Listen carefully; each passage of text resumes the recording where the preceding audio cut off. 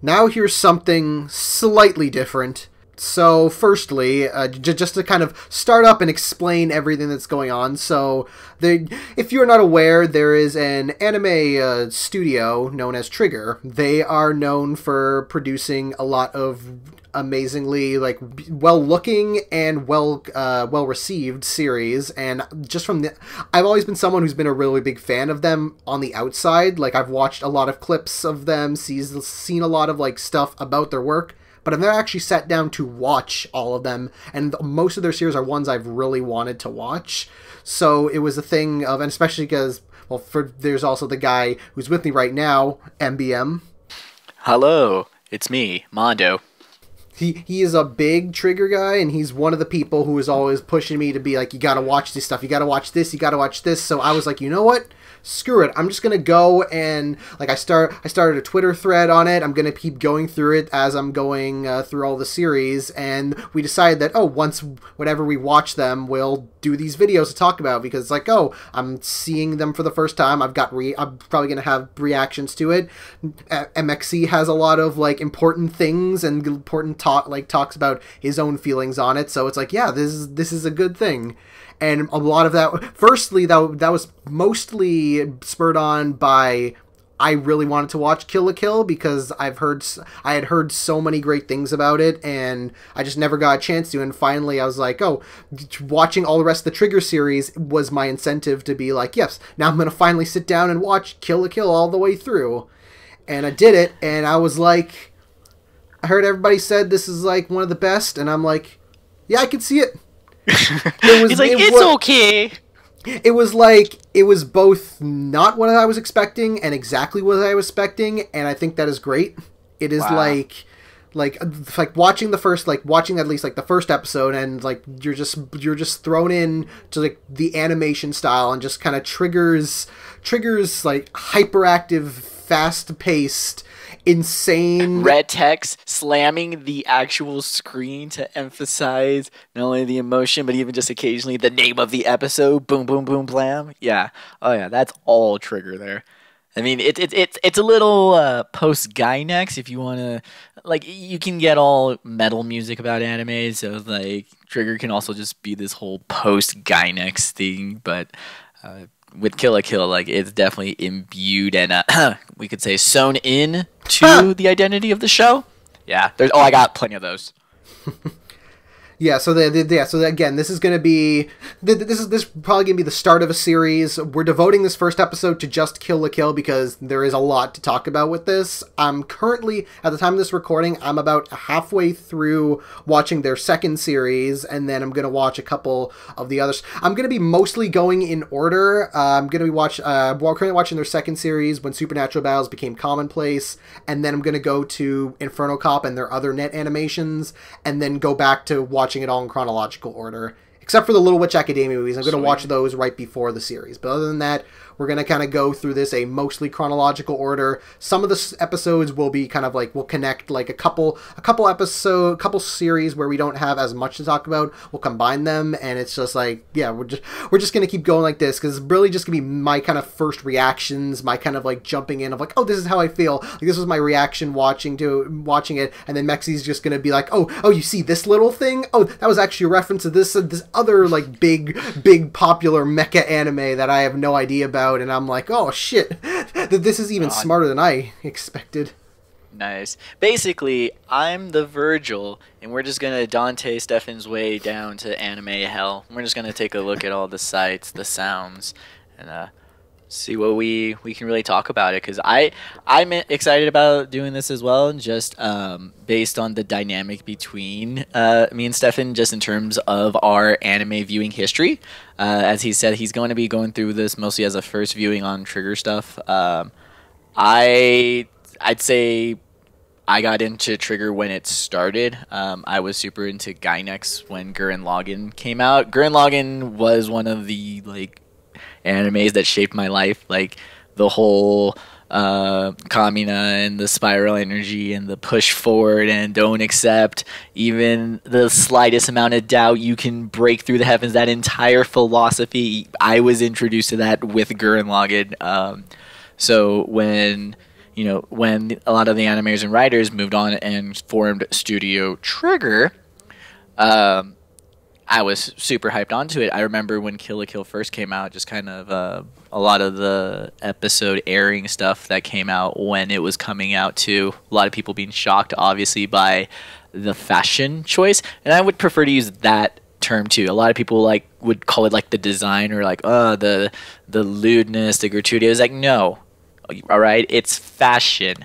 Kill la Kill is one of the most fashionable sh- shows ever created. Like even if it's not trying to go for like fall fashion runway couture, like it's a show that's meant to talk about clothes and how clothes affect people and how we use clothes as people even in a anime with the most scantily claddest of ladies but even the show itself like has a hard like message and uses that as a vehicle to deliver a message about something I, I, I, I kind of yeah, that, that was a joke I made on my Twitter thread like like very early on in the series, and I'm like this this feels like that that a that a ProZD skit where where where the guy where the guy's like where, where the guy's like oh I really like this anime, but but but all the fan service just kind of feels distracting, and then the guy walks in and be like actually you see the the, the all of the scantily clad women, it's all symbolic about the nature of this old thing, and I was, and then it cuts and then it cuts to the creators. I was like oh no, I just want to see some titties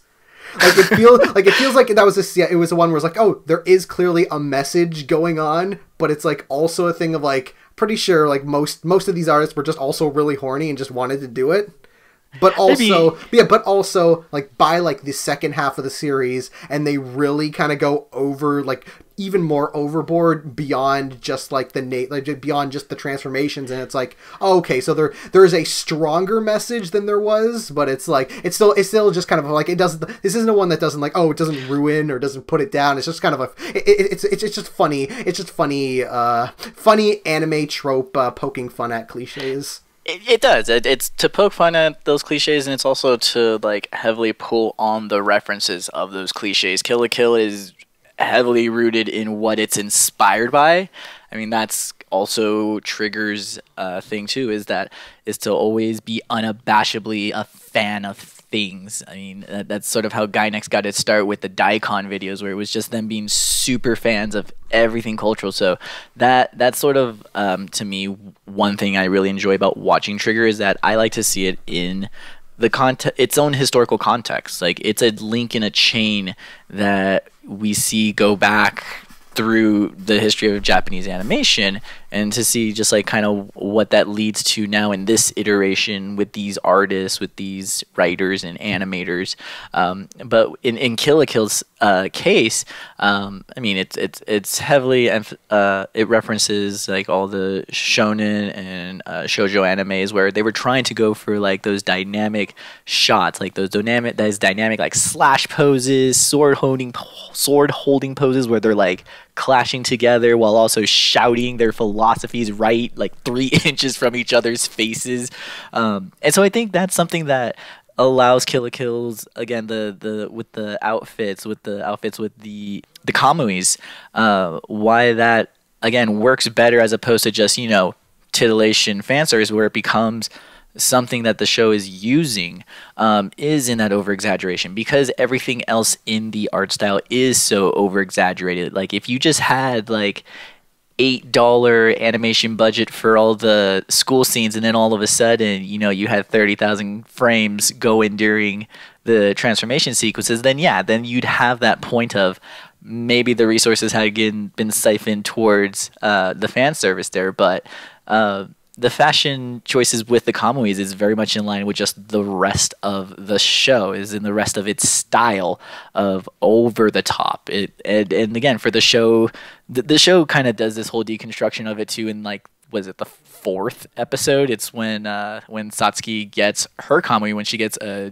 Junketsu, and she talks about how it's the form that the the Kamui takes. And again, there's your you're right off that well if you say that it makes them naked then it has to make them naked. It's like well yeah. They also literally call it they also literally call it a wedding dress they do that. Well, Yeah. I feel that's also done as a signifier too. Um, the school, the show tries to reference, you know, very specific things. It references school uniforms, and it talks about it specifically in the context of Japanese history, in that they are fashioned after um, military uniforms. You know, boys' uniforms are similar to army high collars, and then female uniforms are literally sailor outfits. Sailors are, you know, maritimers of war. It's a war uniform. Um, and then they talk about things like the wedding dress, and they talk, and I think that's more of that like adulthood, uh, maybe even more specifically into womanhood. Um, I guess we can. uh, There's probably just a spoiler warning for the beginning of this in total, but um, yeah, oh yeah. I, I- I was gonna say, no, I was gonna say if, if we want, yeah, for yeah. First off, yeah, we're gonna go into big spoiler discussion, and also, yeah, Joe. So in case people are watching the, that people are watching this that either for some reason haven't seen it, which it's like if you're watching this, you probably should have seen it by now, unless you're just really curious and want to hear us talk. just about please do. I'm gonna Yeah. am gonna just say this earnestly. Like I know the internet, especially with anime, with fandom and stuff, that's full of cynicism and everything. But no, if if you are considering watching Kill la Kill and you have not, just watch it. Like it's really good. You especially I think in with modern sensitivities, because. Like I know it didn't come out too long ago. It was 2013, so that's uh, almost 10 years ago. Um, Damn. uh, right just to make Yeah. everyone just have, have everyone have that tim allen santa moment but um but i feel like sensi- uh, sensibilities even since then have changed and so i feel a lot of people aren't quite as like put off by oh girl with no clothes not as much clothes on i like it, it is an off-putting imagery of it but i feel just kind of nowadays most people it's not as shocking as it once was. So I feel, I feel like that hurdle has been lowered. So if anything the show is a lot easier to get into. It's it's a lot easier to understand now especially and i'm just going to put this as like kind of my thesis of how we talk about kill la kill here is that to me kill la kill is it's an anti-fascist fashion magical girl anime with scissor swords and love. Yeah, that was something you had told me like before, and I was like, "Oh yeah, th- th- this is this is basically a magical girl anime." And like, yeah, going the first and second out, so like, "Yep, this is a magical girl anime, all right." It, and it not even just in the the whole like transformational sense. Like that's a very surface level like kind of like oh that's a that's a crab because it has claws. Like it's a very surface level way of categorizing it. Kill la Kill has a lot of you know the hardcore genre defining like ideals written into even its themes.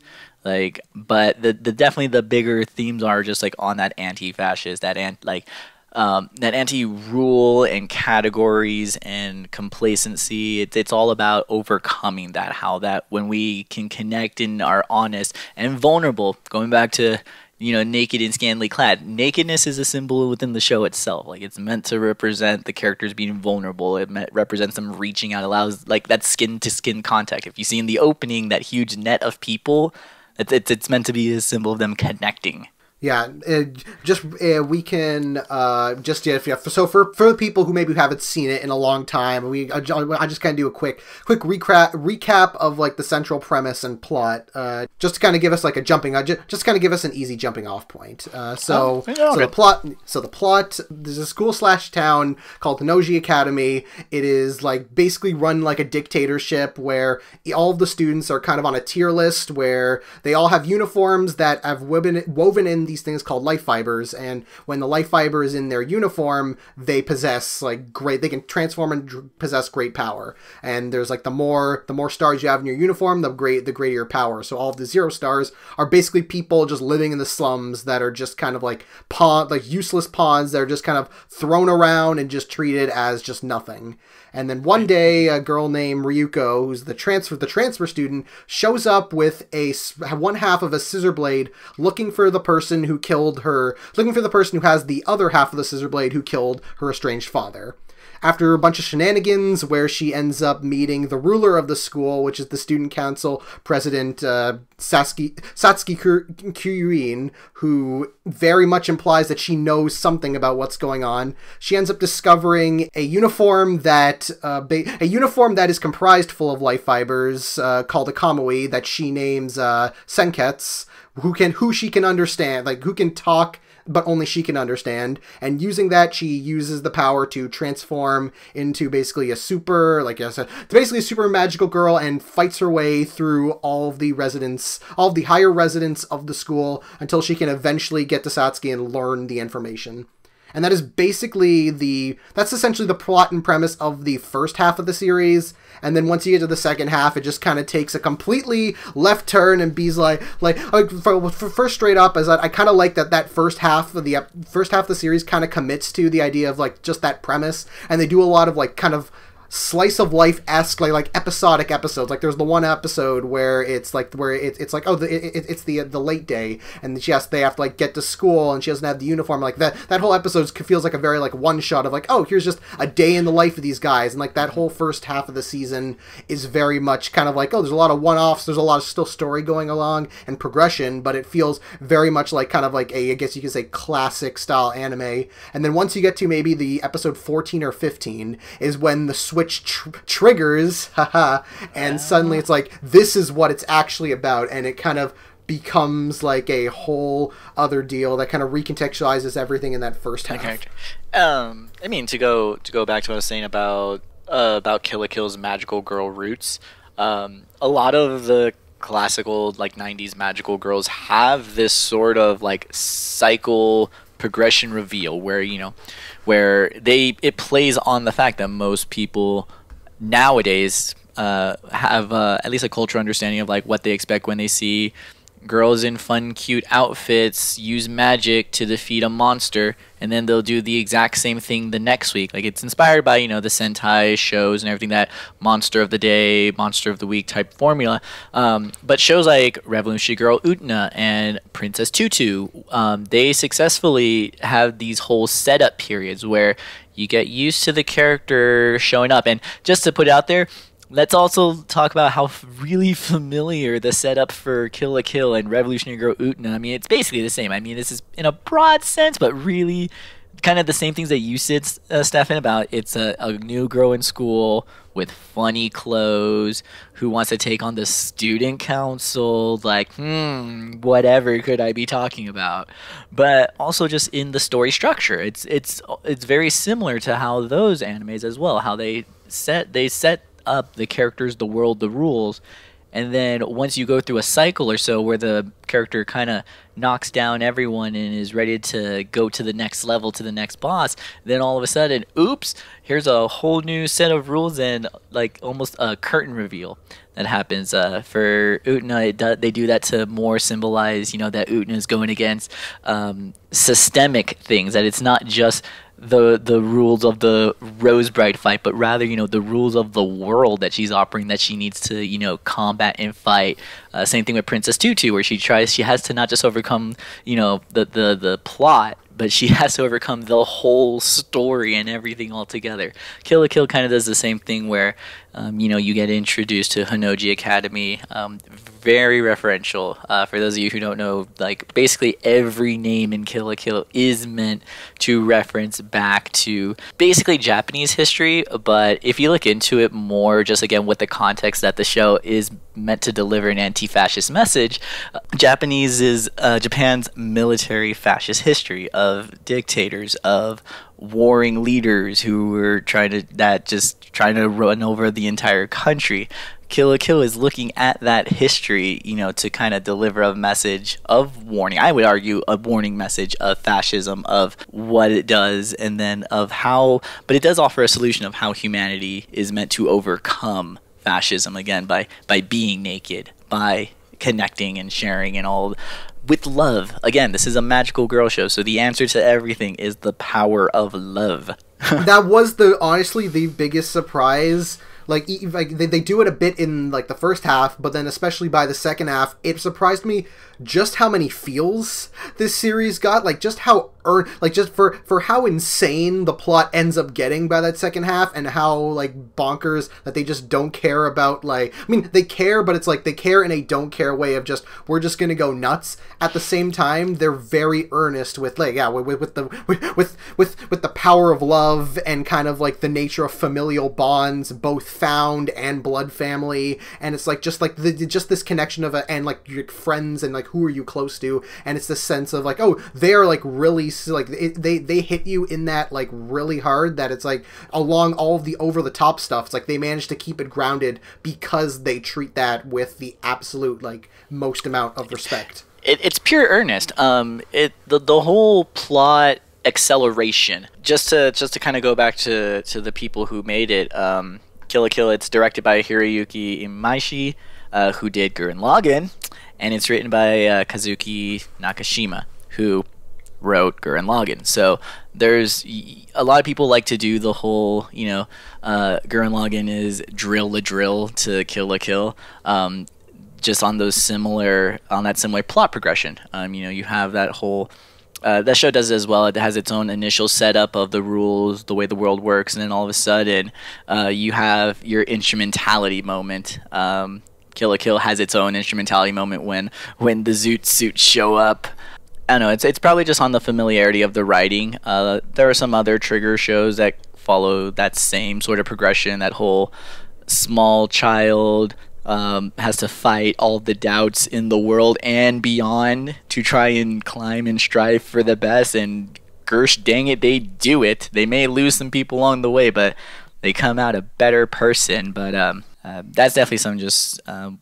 with that whole energy that Gurren La- or that uh, Kill la Kill builds in its second half, um, it is reminiscent of just kind of those uh, of previous animes, uh, how they sort of ramp up with, especially especially with uh, the same messaging, where Kill la Kill is trying to you know show that that human spirit can overcome the conformity of the life fibers, uh, versus you know Gurren Lagann's message of hum- the human fighting spirit overcoming, I guess, basically evolutionary complacency. I think that's what the, the anti spirals were like all about or something. But I mean, it, it, I remember for years it was done for memes, but I think now uh, with hindsight and with some time, we can, you know, honestly look back and be like, yes, they do have similar plot structures there, um, but it's definitely just more that they, they parallel each other. Um, Kill la Kill has its own messaging, it has its own themes and its own points that it's trying to make. Um, Stefan mentioned, you know, the familial and the friendship bonds. Family is a huge, huge thing in the in the show. Um, uh, yeah, R- Ryuko shows up in town and she's completely alone. She does have prior family, but at the start of the show, once she shows up, she is a completely alone, and that's where she starts. And so it just kind of progresses from there on. She changes and moves because of the people around her. And even then, Ryuko's whole motivation is essentially daddy issues. It's like it's like she she she had a she had a very rough relationship with her dad. Like she never really knew. And then the first time she sees him in a long time, he's dead. So she's like, my only purpose right now is to find my my dad's my dad who I'm not even that close to and find his killer. So it's like it's that this very kind of she she like she she feels like she has to do it because like oh I never I never got to do I never got that familiar connection with my dad. This person took it away from me. I gotta do something, and it's like yeah, it's, it's a, she's very lost, and it's way and it's not until she she gets she gets her friendship with uh with with, with and the the both friend, love, and close familiar relationship with Mako and her family that it's like, oh, I can actually relax. I can feel things. I have people who care about me this much. Excuse me, but I think you managed to forget best overall character. Best star- fucking character. Mako is literally the fucking best. I love her to death. She's the best animated. She's the funniest. Uh, I watched it in English, and Christine Marie Cabanos' per- performance is absolutely pitch perfect. It's like she made like I've seen a bunch of like clips of stuff in Japanese, but her like she mad like she and she's played characters like that in so many other anime as well. Like I'd also watched Toradora, and she plays like uh, the yeah. same kind of character. She plays the same kind of character with the same voice, but it's a, she she just gets she has that manic like super like the super fast like uh, hyperactive does not care about anything else voice, and it's, it's yeah it's, it's so precious, it's so cute, it's so funny, and it's like yeah, it's like you get all of that, but then you also get the feels, you get the genuine love, you get that connection. No, Mako is like full stars, five star, like best character, and and like you said, um, to me, I'd argue she's definitely just the heart of the story. Being again, if, I, I want to look at the show in this context of it's a magical girl show and if the power of love is the answer to everything mako is the generator of all of the love to the point that it does affect ryuko like now one of my favorite uh, running gags on the show is when mako jumps at her how in the beginning she kind of just dodges away and then she slowly transitions into catching her into gently placing her down into you know fully embracing just that's how her her best friend slash sister slash I. That's one thing I like about too about the relationship is that uh, to to harken to the second intro, it's ambiguous. It's uh she's it's not set into categories that you know Mako is love interest or that she is you know just best friend. She's also technically they're technically sisters because they they live in the same familial household. It, it the, the show doesn't care. The show just cares that they're two people that you know they share. Love each, they love each other, and it's like it there's a love like, connection. yeah. They're, they're entwined, as it were. Um, the show obviously has so many references to the red. Sh- uh, red string of fate, um, and it's not just used romantically. I mean, it can also be used as you know just two people with a similar destiny in general. So it could also be seen that you know Mako's motivation to or Mako's you know love for Ryuko and how that changes her, and then how then she becomes the vehicle to you know fight the aliens to overthrow the system. That that is the power. That that was that's that human spirit that truly overcomes you know the life fiber's dominance again that that's anime as hell it's it's it's super anime as hell but it's it's it's to me I, it's one thing that i enjoy about kill la kill is that it's earnestly trying to make said message that and it, and it does it in several ways where it's all put together. It's a cohesive message that's not just tacked on to the end that, oh hey, with all the titties that we've been showing you, did you remember to to love yourself? Like the show tries to like make that the point. Like the characters are showing their titties because they need to learn to love themselves so that they can then start reaching out and loving other people and yeah, it's it's an intense show like that. And also don't forget about senketsu because like senketsu is also a very big thing and i, I like i like how that there's kind of the thing where like because even like mako's like oh senketsu like senk there are things that only like only senketsu can like like emotional emotional support that only he can give in comparison to mako and mako's like oh i know you you care about senketsu. He clearly cares about you even though i can't hear him. It's like she has that understands like oh you it's not just like oh I, I can only give you i can only give you my love. It's like you also need his love and it's like that thing of like it's both of them kind of like combined that give Ryuko like the, that big strength.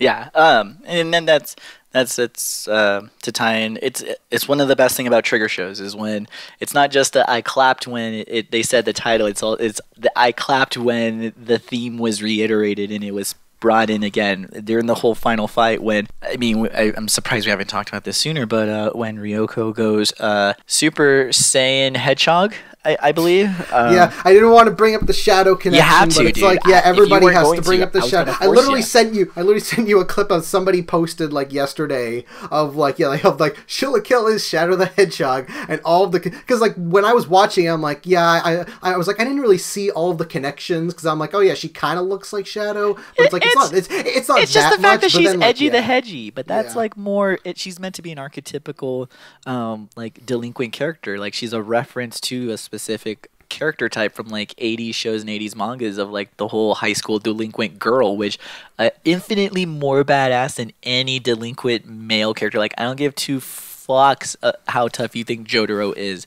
Every single high school delinquent girl could probably beat his ass and run him over. Like it's just the way high school delinquent girls work.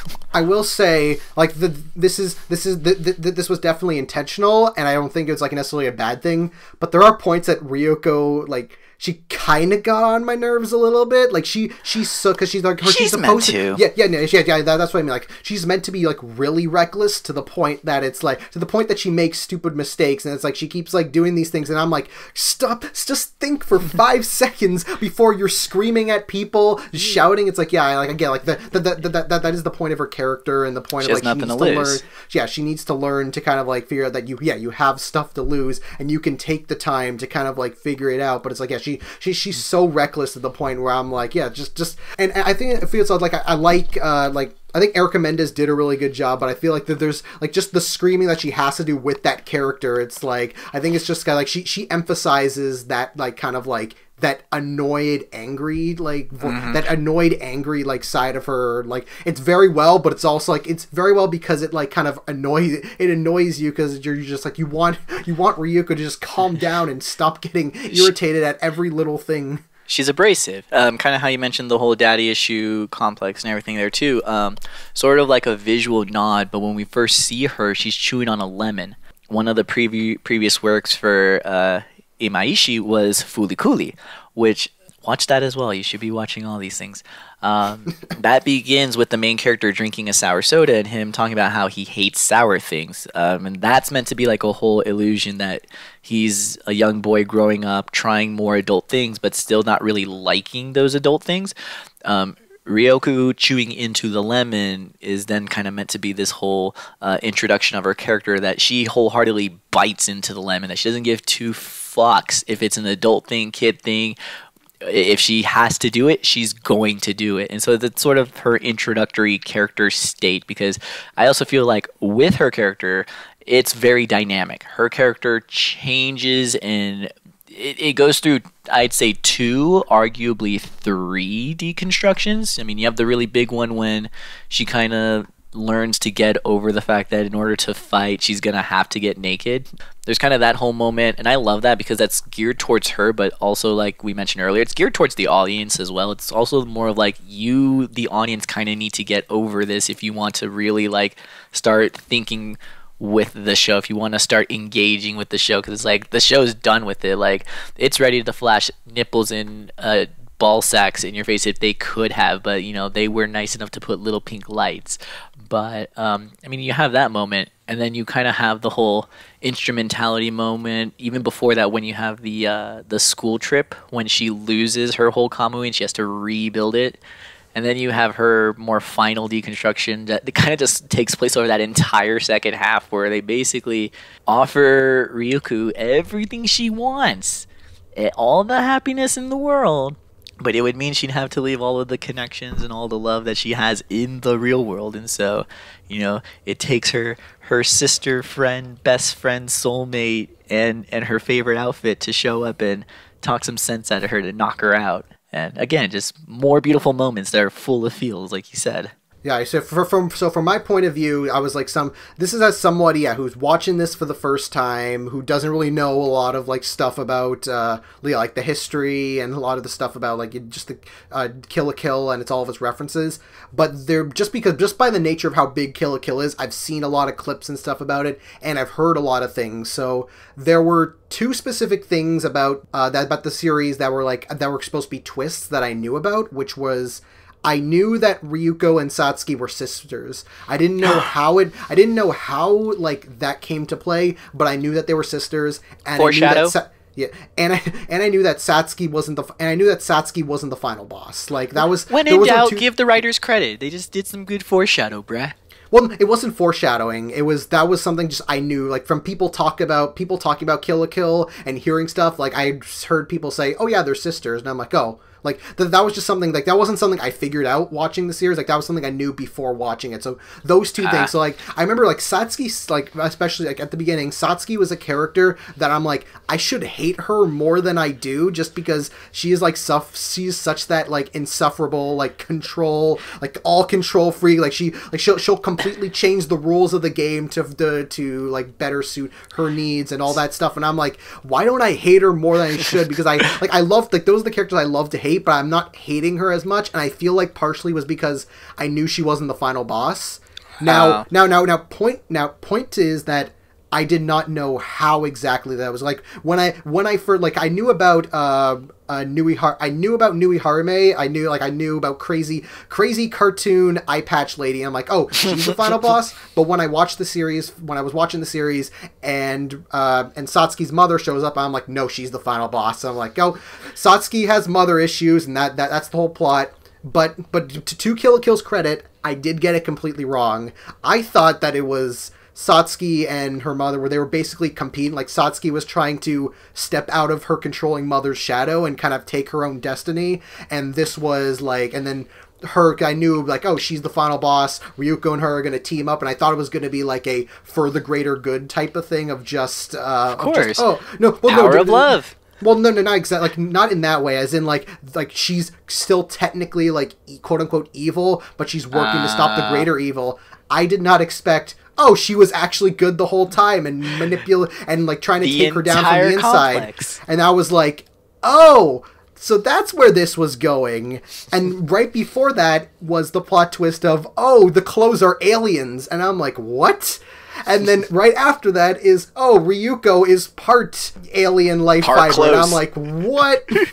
so it's Part like close. there are plot there were plot twists that I knew about, but it was still able to surprise me of things that I didn't hear about or maybe I did hear and forgot about, but it's like they they were able to give these surprises that I was like huh and it recontextualizes everything because like oh yeah of course like ryuko is able to do this because of oh main character powers it's like oh no she literally is like part like she, she's literally part clothes. No wonder she can control and talk with him. And it's like oh satsuki's doing all of these certain things. And it's like oh it's because she's doing she, she she's, she's essentially being snape and being a th- triple agent and Snape. being like i gotta i gotta do this. I gotta do this. I'm like act, i'm acting like a dickhead but i'm only acting like a dickhead because i want to make my people stronger. I want to make you stronger. All so to like take down the all- all- clothes.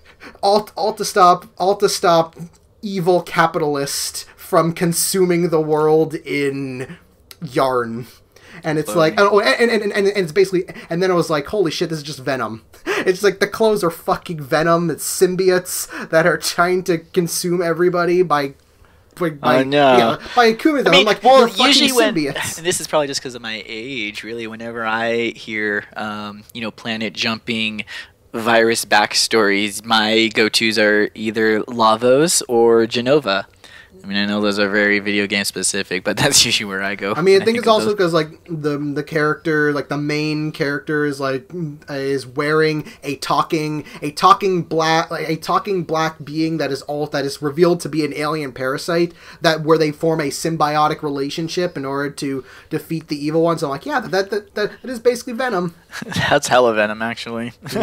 I, I do have to give him credit that like I feel like just explaining the the whole like that whole like central plot of like b- clothes are because alien f- parasitic fibers came down to Earth and made us want to wear clothes so that they could wear them and they grew dormant and now not they're just trying to not emerge. just want to needed Need to, to, wear yeah. clothes to the point that we needed clothes in order to just stay warm and survive like they make it a necessary part of our evolution um, kind of just to go back to the whole ambiguity the it's this but it's also that. But no i wanted to go back to when you mentioned like why satsuki just was this character that you could not hate. Like it there it's intended. She's meant to be the most charismatic fascist dictator ruler. Like that's how fascist rulers work is that through their charisma they can spew like in her case these orwellian chinese proverbs. Like i, I understand i combined those but so does she like she throws these contradictory statements but it's all in the means of keeping the status quo and keeping the system in place. Um, I mean, she has the ulterior motives that she's using the system in itself as basically training mode for the bigger system. But I mean, when you look at it, I mean, she still was subjugating the entire city of Honnouji Academy. You know, she still had entire slums basically under her thumb, under her rule. And it, that was always just one thing that's kind of weird about the show is that, yes, she was using it to fortify the students and train the students, but the students' families were involved in this too. Yeah, like why were you? Why you? You, you was like, yeah, I I was like, I know, I know what your point is, but you were still treating every like I, I get the whole thing was that you wanted to seem very cold and like heartless because oh, you're trying to trick your mother into thinking like you like you're you you you you are committing to the bit, but it's like you are like you do you did a lot of very scummy things to get to it because it's like oh she she she's so committed like it's, it's like oh my mother is like listening my mother is listening to a blob of aliens it's like i can't like the only way to do this is to be super super undercover Slash is kind of in love with the alien blob, but that also goes back to Satsuki's character design. She she's meant to invoke again to be with the show being a lot of having a lot of references to Japan's military past, she's meant to be she's meant to have a lot of references uh, back to Oda Nobunaga, um, who was famous for he had a whole bunch of conquests to try and unite. I'm going to put air quotes unite Japan, um, and that's where you get a lot of the references to the to the sports event. Uh, why they're doing that whole military campaign to take out those three cities. Those were the same three cities that uh, Nobunaga. Uh, those were like his last three cities that he needed to for his unification plans. Um, there's even like a whole reference like towards the end of the second half when they save Satsuki from from being caged up. Uh, they do a whole quote where they say the enemies at Honnoji. Um, that's kind of a reference to when Nobunaga got uh, I guess like friendly fire assassinated or something. It's up to like historical debate, but like even the show kind of like heavy handedly makes the message that like she's meant to reference this uh, Japanese emperor, and he's also really associated with um, a lot of tactics that were like you know ends justify the means. That you know if you're gonna do it, you might as well do it all the way. Like even if there's collateral, if it's worth it to you know get that end goal, then that was worth that all that effort. So she it's definitely like ingrained into her character design, which just makes her so complicated and such a really good character because they could have just left it with the whole oh she's a dictator, a necessary evil that we'll have to work with, and like that would have been bittersweet. That would not have been nearly as effective as a character who is intentionally just parroting like the philosophies of the flawed system as a way to, you know, fight back at it. Like that's infinitely more interesting. Yeah, and to be fair, I mean, like, and the plan doesn't end up working. The plan fails. Eh, it- well, like, yeah, and- well, because she yeah. wasn't trusting other people. She wasn't following yeah, yeah, she- the themes of the Magical Girl show. You need to trust in other people so that you can generate the power of love and trust in friendship. So Yeah. then you can take out the. So then you can take out the alien alien trousers. Yeah, because yeah, because I know there, there's like a, there was like a scene early on which like it's the flashback with uh with what's his face like with with with, uh, with the big guy disciplinary guy like he he's trying to protect uh, the like the kid in middle school and like the kid like the the like the rich people like the rich powerful people are bullying him and then Satsuki shows up and she like kind of like like bites him down be like oh yeah I bought I bought your family took over your family and all that stuff. And she's like she, she and so I think yeah and then the guy's like oh what what what what you're doing to them is like no better than what they're doing. And she's like no I'm not use I'm not using my fa- I'm not using my family's like I'm not using my family's name and my family's business in order to uh, like take this control. I'm taking control myself. And so like that was kind of the major thing like that was the thing that kind of led me so like oh like like when, when I thought that she was still kind of like on that straight dictatorship I'm like oh she has her own goals and she like she doesn't want to be with her mother because she wants to stand out on her own which is like it ends up being kind of true but in like a very different way. It's like oh Well, no, she she, she was. It, it it all goes back to that everything in that first cycle in that first that basically setup of Kill la Kill with Satsuki's character is meant to have a dual meaning. Those scenes kind of cue you into they're meant to like shoot down like the, the the wrong theories there. So basically like how is she in line and subservient to her mother? No, she's proven before in the past that she doesn't believe in just taking what's from from and falling in with her inheritance. She doesn't.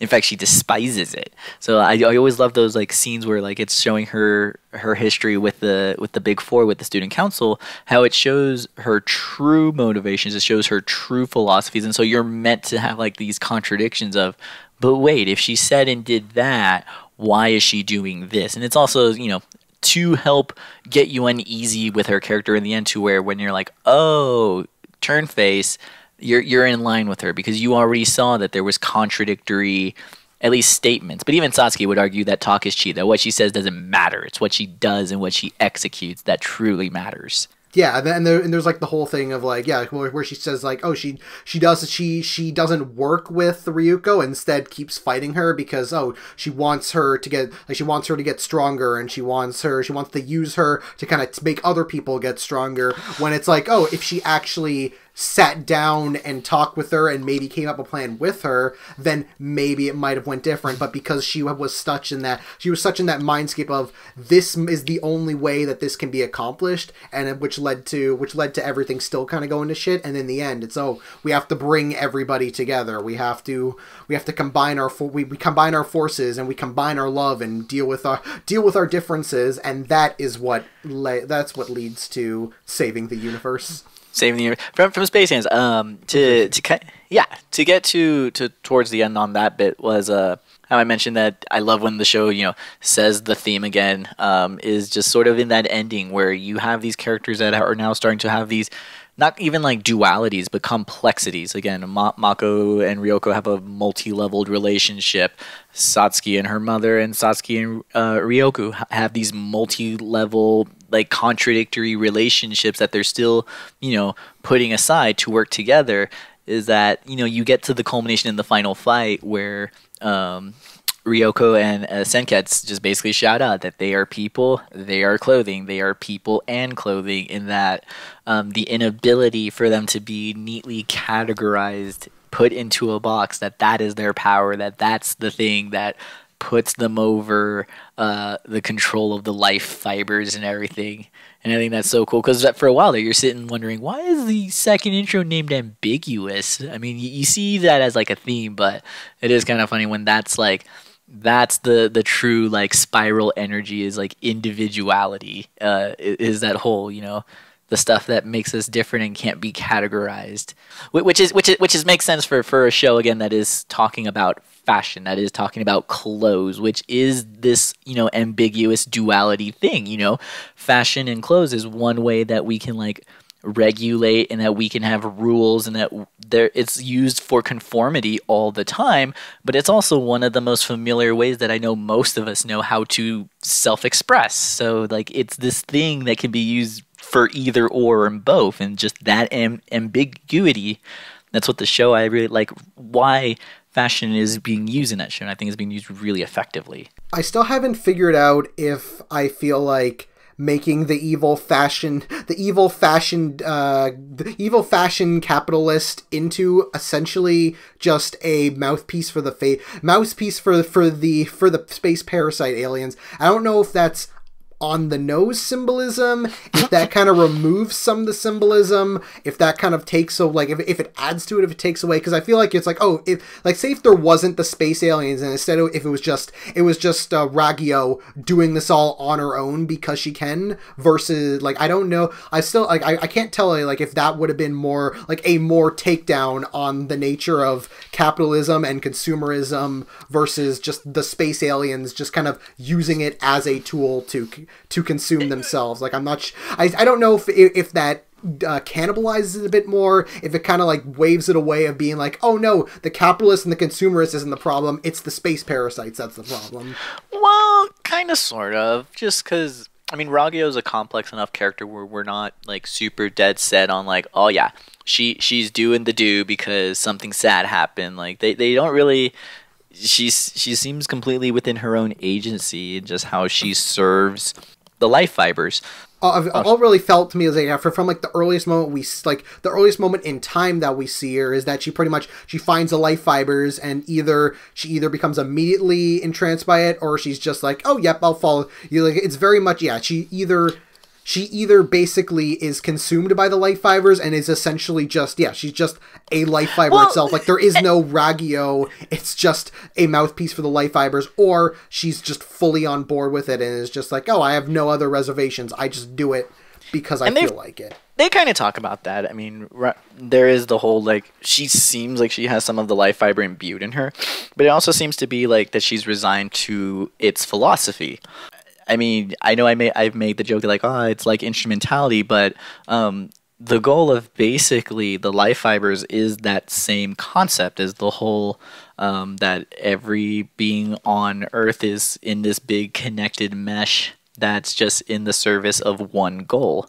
So it could be Ragyo's also submission that she sees, you know, the fight itself against the life fiber as futile. Like she could also see recognize or versus you know that connection with other people to build up that ability to like see past the life fibers. She resigns herself to the life fibers. Like she sees that like there's no way we could win.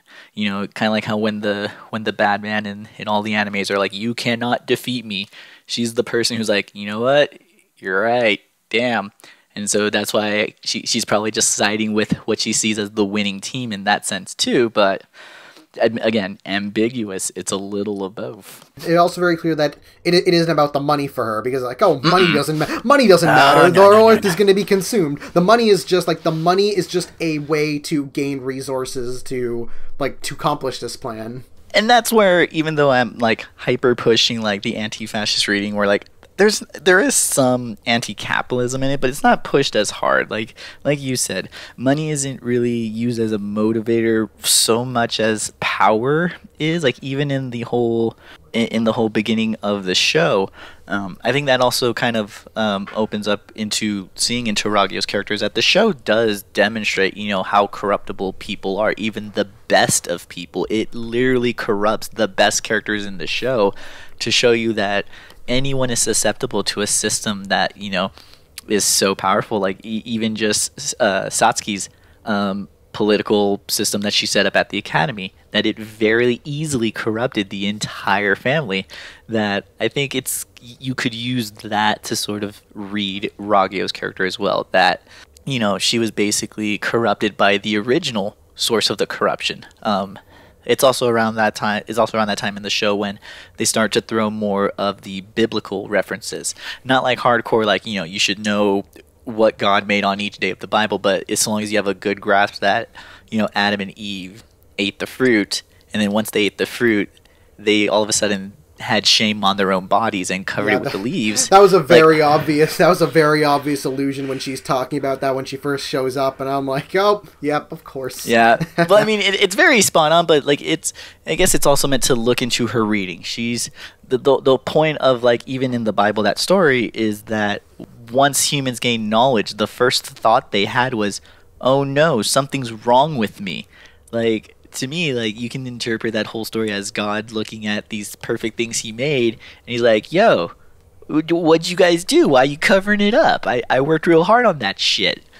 And so it, it, I, I do also kind of like this whole allusion to biblical stuff outside of, you know, a Western idea of it. So, you know, you, you get more of a different type of reading on what what we normally see when we talk about Adam and Eve and the apple. Usually in a Western reading, it's meant to play point basically paint females as these inherently sinful things that like oh they were the source of bad things. They caused the bad thing with a bad act. But um, i do like how with kill la kill it kind of focuses more on the story of like the shame and the clothing or the act of initial covering. Um, and then of course to tie it to parasite pants from mars which, hey, I, I, I love it. I and then the fact that the, the good guys then are the nudists, the nudist beach with Nudist their giant with their giant blade sword. So I'm not personal moment here. Nudist beach is most definitely both char- both of the main characters. You know, the teacher and um, Tsumugu's chest are definitely responsible for some part of my sexual awakening growing up. So you know, thanks, Kill la Kill. See, I kind of like that nudist speech. Is like they're. I kind of like that, that. That for the most part, they're kind. They're kind of useless. It's like they, they they do a lot of stuff trying. Like they do a lot of like help. Like there's a lot of stuff that they do that is helpful. But it feels like most of the time when it feels like they're gonna do a big thing to help, something screws up or it doesn't end up like it's like they, they only help in a very tiny way. They're And the like- tuxedo like- mask. Yeah, yeah, very much. Yeah, because I mean, fucking Ma- Matthew Mercer is just so goddamn funny in this. I, he, for, from from his like very like his very monotone kind of like hit like with the his teacher persona, and then when he Oh. takes off his shirt and he has that very Mercer esque. Mm, look at my chest over here. Look at just- his it's- chest. it's perfect. Also, the the whole teacher thing, like again, what's the what are the very first lines said in this show? Like, it's not even about scissors. It's not even about Honnouji. The first words spoken in Kill la Kill reference the uprising of the German Nazi Party. Like, it's it's in the show. Like, there's not. It, it's the initial pun. It's the whole reason fashion fascism is like the pun of Kill la Kill. So I mean, it, it's meant you're meant to look at these charismatic fascist leaders critically. You're supposed to be like, oh, oh, because the beginning of the show is about how Ryuko is gonna, you know, fight the power. How is she gonna take down the student council? How is she gonna take down the president? But then the show does the instrumentality twist, um, and then instead you see, oh, it's it's the corporation. It's something that takes over the whole world that instead we have to deal with. And then, oh no, it flips again, and it turns out it's actually something within ourselves that we have to fight and overcome. And then all of a sudden, there's a bunch of people hugging it out. Kill la kill, ladies and gentlemen.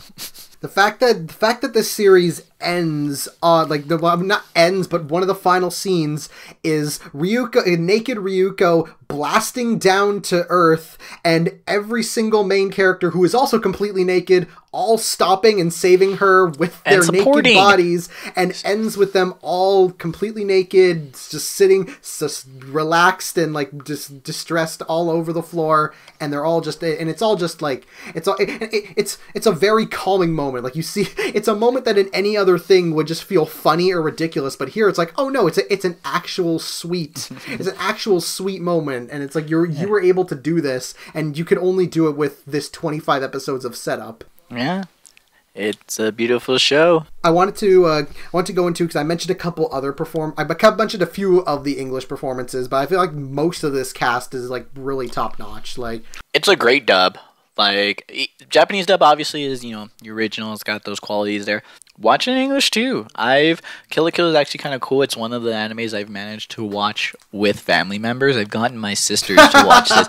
Yeah, no, like What's it's funny because I've seen like so many people are like I like see comments of like people like reacting to the episodes or whatever, and a lot of the times I'd see a lot of people like, "Oh, Kill la Kill is my favorite series that I I can't watch with people in the room, or I want to show this to family members, but I can't."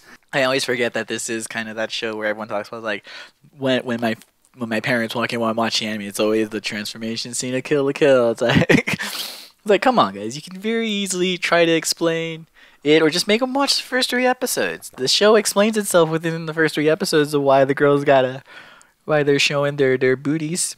uh, yeah, I mentioned I mentioned mentioned Ryuko, Mako, and uh, teachers' voices. Uh, Sa- Satsuki Satsuki's voice is great uh, by um, Carrie Car- Carrie uh.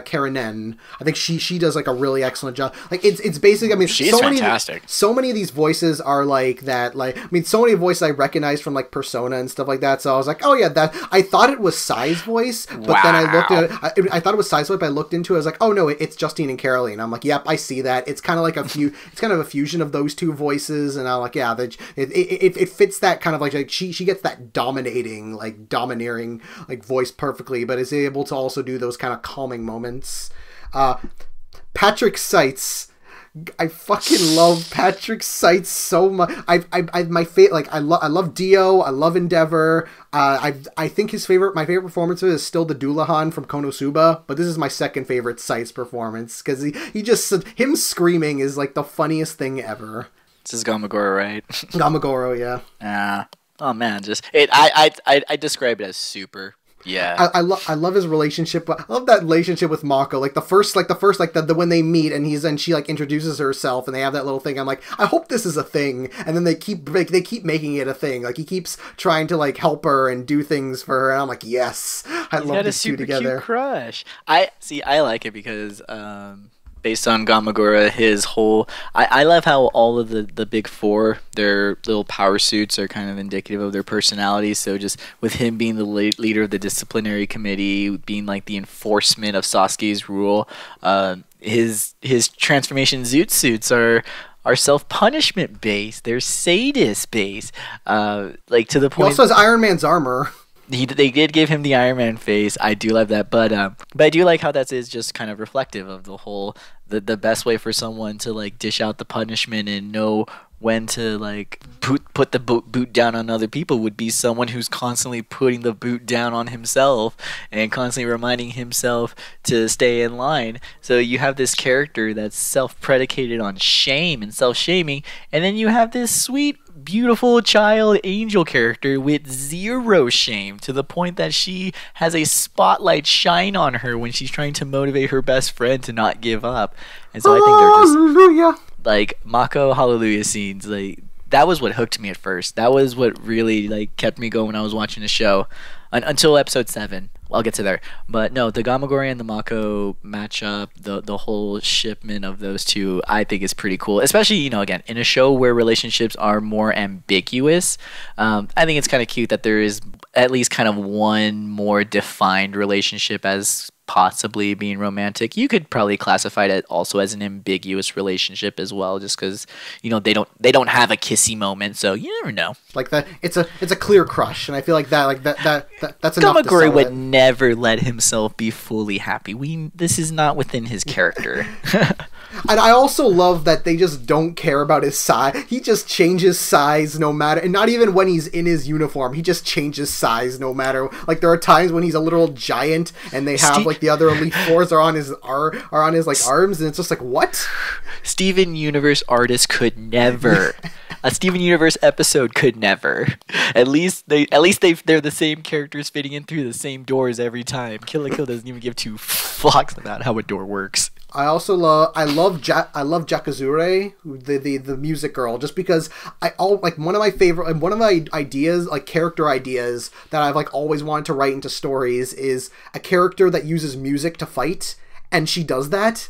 She's like using classical She has music a whole to damn attack, and I'm band. like, it's so it's like it's so great, like her her her regalic symph- her symphony regalia, and it's like, oh, I love I love that. It's really cool. Although it was kind of distracting. The the voice actress uh, plays uh, plays Felix in ReZero, and she's doing the same voice, but in ReZero, she keeps like she plays like she plays the cat person, so she keeps Cat. making like cat noises. So I'm expecting cat noises to come out of her, and it doesn't happen. And I'm like, wait a minute, and I'm like, why am I why am I feeling weird about cat? I should I should be weird with the cat noises. Why is it weird without?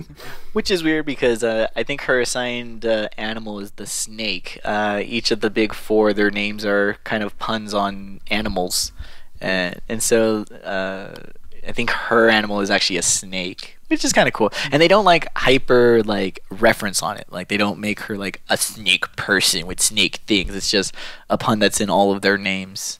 Versus like a Matoi, that's just straight up a tangle, as in like a tangle of string. So, so they, they they get they go pretty on the nose with some of the names, but um, with the big four, they went with animals. That's still different because the weird thing is, is that even within the show, they reference you know the four directional guardian beasts, you know Suzaku, Genbu, and all them. Like they do that during the during the whole sports event. So they could have done that for the big four, but they decided to go for like different animals there. But I did like how at least with their regalias, they had the different levels, they had the different forms, and it was kind of uh, reflective of like their personalities and stuff. More so just because uh, you know with, with Kill la Kill being a magical girl show, Satsuki and uh, Ryuko they don't really get different transformations. You know, she she goes super Super Saiyan Hedgehog at the end, yeah, but at least throughout the show, you know, they don't really change up the way that those two transform versus they give the big four you know the different transformation outfits to kind of give them that character progression in outfit form as well. And so i always loved how those outfits changed and how cool those get with like the theming with the big four it is also interesting because like they, they don't really change like their character development isn't really like like they don't change in any way. It's more so it's more so about like the direction like it, it could be because they're pretty much yeah they're pretty much the same like for the most it's more so like their their, their direction. It's like oh they're we're following Satsuki and basically playing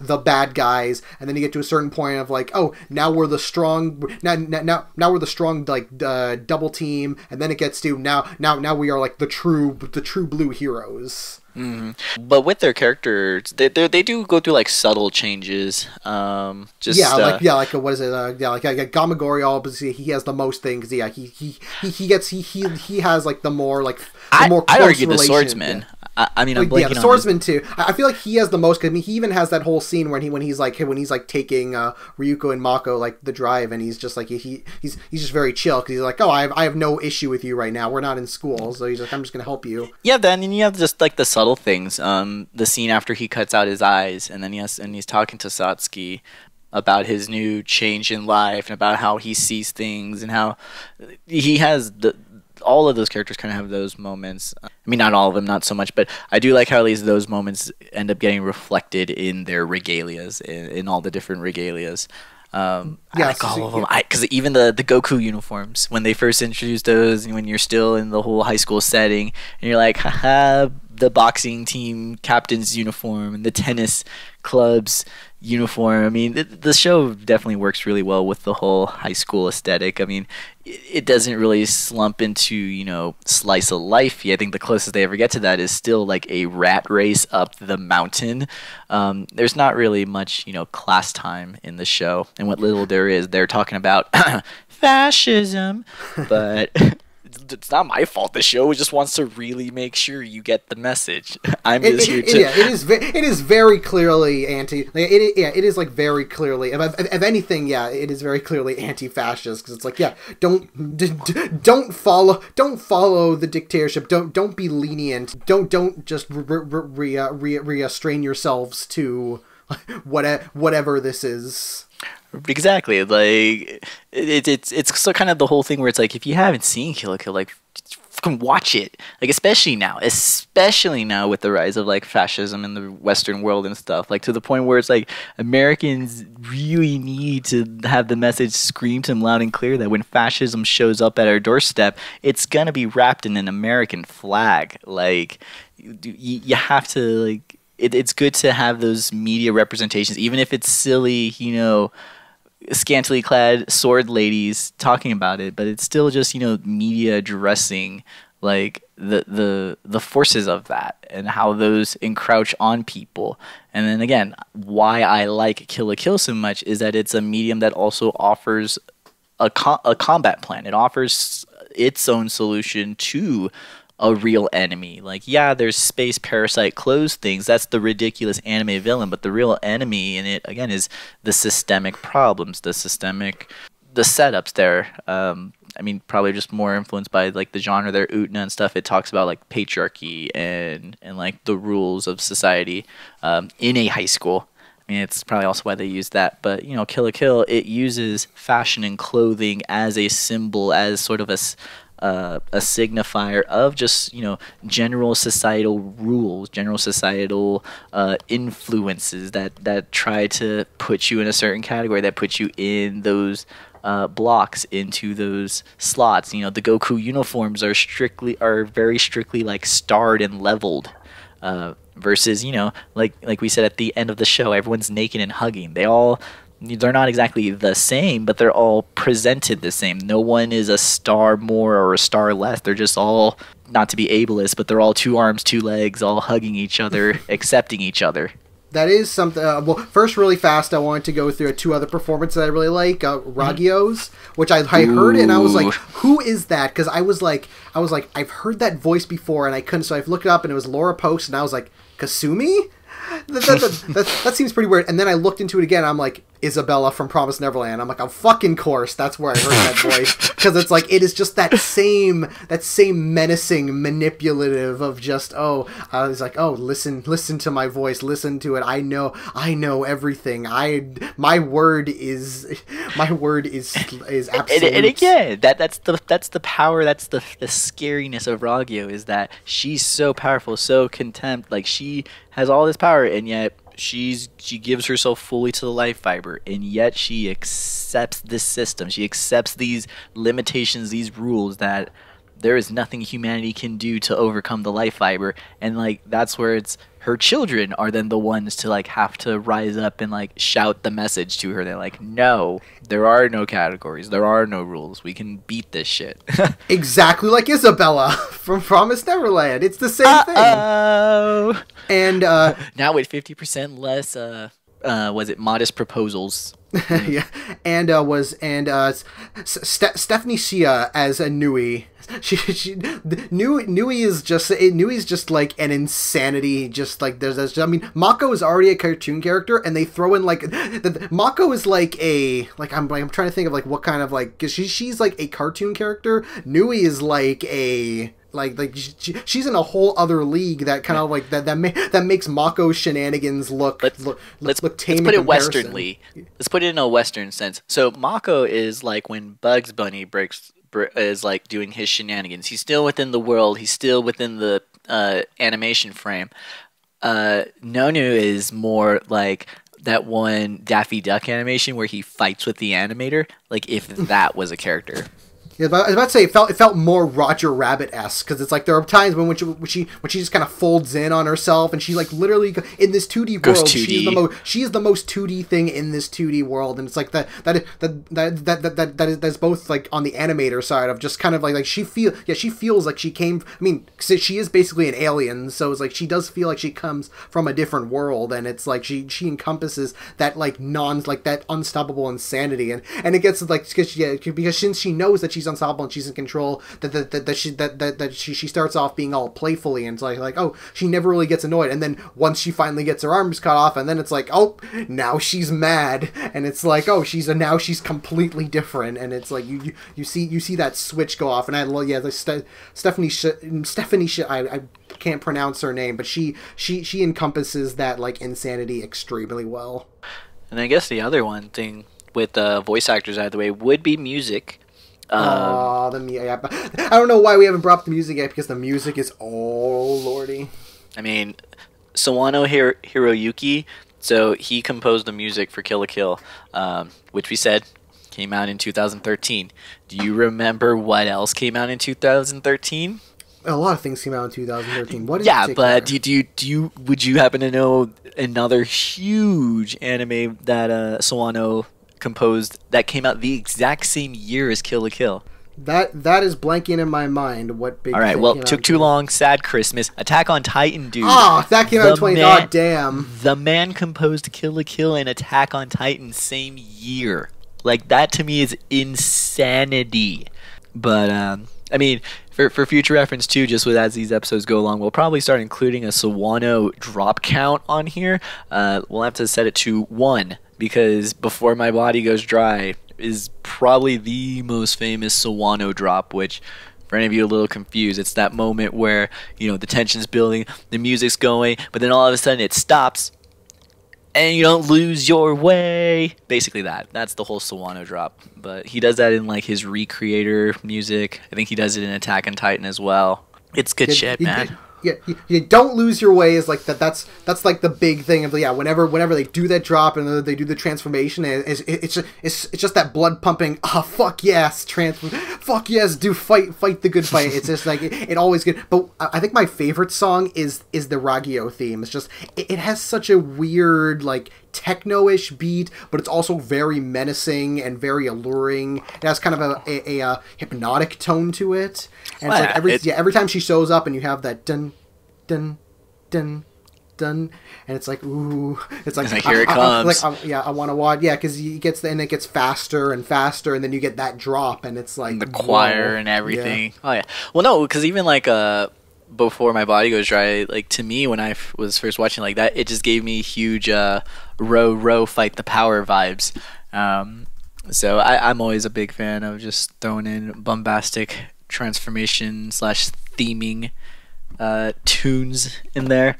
But yeah I, I was and then openings and intros they're all fantastic both in both sets. Um which would you say is your favorite, Stefan? Did you prefer Sirius, as in the star, or ambiguous, as in the plot? I, I, like I, I like the I like the first opening uh, the most. Sirius, like the, the, yeah. Uh, the, the, the, but both openings were really good. But I feel like the feel like the first the first one kind of like there's a lot. Yeah, Sirius. There's a lot of. I mean, it's kind of like that anime thing where a lot of the times that first opening just kind of hits you more, and it's like I feel like if I if I listened to the second opening a bit more, like I, I find that a lot of times where it'd be like, oh, I like this one more, but the more I listen to it, I'm like, oh, I start to like this one more. But it's like that that that that yeah, Sirius just kind of hit like Sirius is a lot more. It's just that more fast paced, that that that just more fun, like energetic. You'll want to keep all that in mind, just because. Um, one thing I wanted to ask you, just because I haven't went through and watched all the episodes recently. I kind of was just going more on recaps, more on like broader research to get ready for this. Um, but would you remember? Do you remember does um, Sirius does it play during the final boss? Yeah, I, am pretty sure it does. Unless I'm like going crazy, I could have sworn Sirius it does play during during like the fun, during the big climactic space battle. Yeah, yeah, because that's the thing is that whether uh, on this channel we refer to that as the Sonic Unleash effect. But I'm yeah. sure it other things. I know it comes from other things. Other no, things have done it, but anime, it's still it's still time. Yeah, it's still just that moment where they reuse the opening theme in the final boss fight. Trigger does it all the time, and it gets me every single fucking time. And one thing that I like when they do it um, is they tend to use the first opening. Like even if they've been playing like a new opening for like the last twelve episodes they'll still go back to using the first opening for their uh, final boss uh, moment for their wear clothes and people moment, which to me, I think that that's one of the most hilarious and greatest. Yeah. Like, I get how silly it is, but to me, it's like, uh, but uh, to me, I love Kill la Kill. Like, I will engage it on like its themes and on its terms and its level. So when it's like, yes, you are clothes and people, and that's beautiful. now slice up that space alien mommy so that you can rise above and then end up killing her outfit. Because spoilers, yeah, Senketsu doesn't make it in the end, but it makes sense because you know they want to leave the characters in a world without any more life fibers, and it really wouldn't make sense if you left the one that was designed to destroy all the rest around. It, I mean, it, it wouldn't allow Ryuko to like kind of move forward with her life, move past you know the pain and the trauma that she starts the series with. Remember, she starts as the sour lemon that's just mad at everything until she you know gets those connections get, builds those social links and is able to reach out for the truth and like be her own person there, there is a plot thing that I, I do kind of wish they would have go, uh, gone into, which which was in the the episode the the OVA episode, which I, I ah. they did the, the OVA episode did a lot of things that uh, I think like like was a like for as an epilogue that really ties up a lot of like loose ends and kind of like ramifications of the ending. But I feel like I wish there was like three episodes because I feel like there was like three episodes worth that, that you could really dive into because it's like Look. oh they, they deal with they deal they deal with Satsuki like, like oh, I, have defeated my mother. It's like, what purpose do I have now? And she's still, she's trying to struggling with what do I do with my life? Like, what is my purpose? Do I, do I keep on just living? Like, where do I go from here? You've got, uh, you have what's her fate. You have the, uh, you have the, like the, the, the, uh, the third of like that, the, the, those villain trio who like comes the back Reeboks. and she creates, yeah, yeah, she, she creates clones of the, of her and the Elite Four, basically being like, oh yeah, you, don't you remember that, that you've actually tortured all of these students and they've like they, they, they, they've they've all they've all gotten scared of you. Yeah, they're all completely scared of you. So I like took all of their like fear their fear and hatred of you and created these evil clones that now you got to face so it's like oh they're literally fighting they're literally fighting their their their their, their social perception shadow. they're fighting their shadow of their true self and then you got yeah you you have yeah you have like the Revox girl who's like oh she doesn't have a purpose. She's like oh uh, Ragyo saved me and she gave me a purpose and now I'm like I don't know what I want to do. And uh, Satsuki's basically like yeah I understand. I, I can help you get I can give you I, I I can make up for both my mistake and her mistake and give you a new purpose. And she's like oh okay then maybe maybe I can maybe I can find a new purpose. I think it's super uh, interesting too just um with Kill la Kill, it is Trigger. It was Trigger's basically their first uh, TV anime after you know the people who formed it had left Gainax. Gainax throughout its entire history had like financial issues, like it, until you know Eva. But of course, Eva changed everything. But before that, they were kind of a studio that was having you know it was either financial management problems or financial in general problems. But like the big show that was directed before this by this same team was Panty and Stocking versus uh, Panty and Stocking with Garter Belt, um, and that ends on spoilers a cliffhanger. Uh, so I thought it was really interesting that once they rolled on into Trigger, had their own company, had their own rules, had their own kind of like setup going on, that they, you know, completed that whole first series and then did a whole epilogue OVA to explain even more shit. Like they ended their last sto- story on a cliffhanger and they're just like, no, no, no, we, we got more stuff to explain. We we got more stuff to, to tell you. So I think that's also a, a due credit to the world of Kill la Kill as well. That I mean, even the artists decided really we're engaged with it as well.